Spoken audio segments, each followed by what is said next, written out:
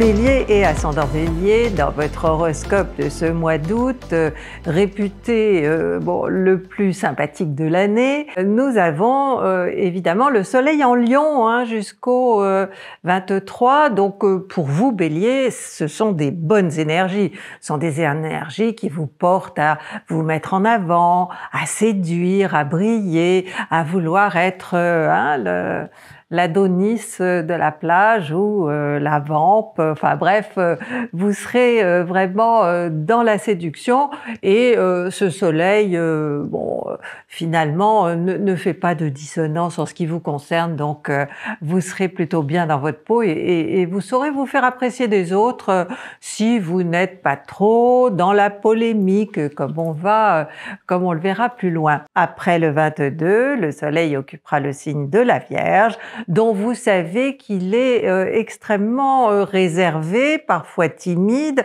Alors ça n'est pas votre cas, mais très certainement, euh, vous aurez intérêt à être un peu plus euh, sur la réserve, à faire moins dans la séduction euh, et à analyser les situations dans lesquelles vous vous trouverez. ne laissez pas votre instinct prendre trop de place. avec la Vierge, il faut être dans la raison, il faut réfléchir avant d'agir. Bon, c'est vrai que c'est pas trop votre mais ça durera quelques jours. Du côté des activités, eh bien, nous avons tout le mois un Mars, votre planète maîtresse, donc elle est importante. Hein. Euh, nous avons un Mars en Gémeaux. Elle est bien placée dans ce signe parce que elle est multitâche. Hein. Le problème étant que euh, quand on est multitâche, on a tendance à se disperser un peu.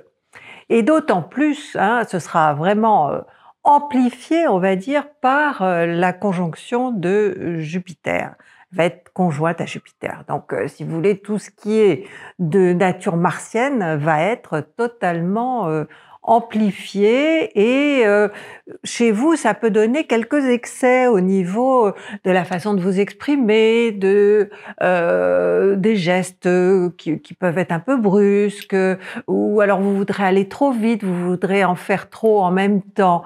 Et fort heureusement, je dirais, bon, ce sera pas le cas pour tout le monde, hein, mais cette conjoncture, donc cette conjonction entre Mars et Jupiter, va être en dissonance avec Saturne.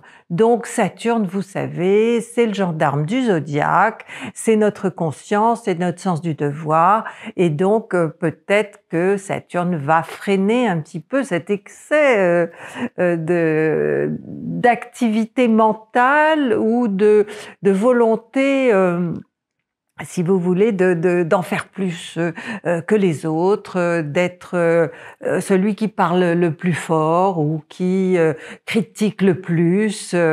donc peut-être que vous pourrez dire merci à Saturne. Dans le domaine amoureux, c'est Vénus euh, qui va dominer. Dès le 3, elle va rentrer euh, en Vierge et elle va y rester tout le mois.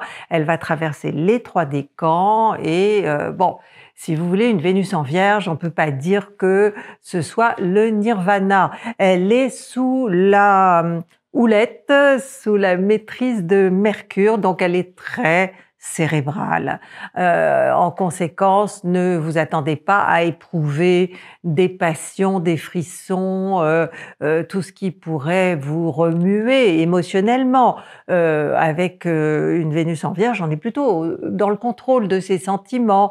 on est un petit peu critique vis-à-vis de l'autre quand on est bélier, hein, bien sûr, euh, on, a tendance à, ne voir que les petits trucs, vous savez, le petit détail qui tue. Alors, bon, si vous faites des rencontres, c'est sûr que ils seront pas nombreux euh, ceux et celles qui vous plairont. Et puis de votre côté, peut-être que vous vous sentirez pas non plus euh, euh, comment dire, euh, l'envie, le désir fou euh, de conclure avec quelqu'un dont vous n'êtes pas totalement fou, vous voyez, qui vous emballe pas complètement. Alors c'est vrai, comme je vous le disais, qu'avec le Soleil en Lion, vous serez dans la séduction, Hein Mais cette Vénus en Vierge, elle, euh, elle aura aussi un petit, frein, hein, quelque chose. Euh, je sais pas, les gens, ce sont les gens que vous rencontrerez ou qui seront autour de vous, euh, qui euh,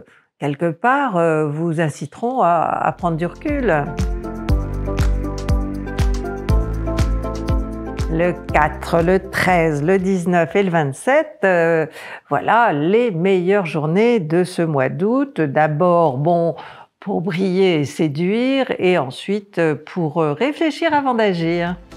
Eh bien, je vous souhaite un très bon mois d'août. Euh, si vous voulez plus d'horoscopes, vous savez ce que vous pouvez faire, hein, consulter nos réseaux sociaux ou euh, nous écouter dans nos lives du mardi et du vendredi, quoique euh, mois d'août, on va peut-être ralentir un petit peu la cadence de manière à pouvoir aussi prendre des vacances.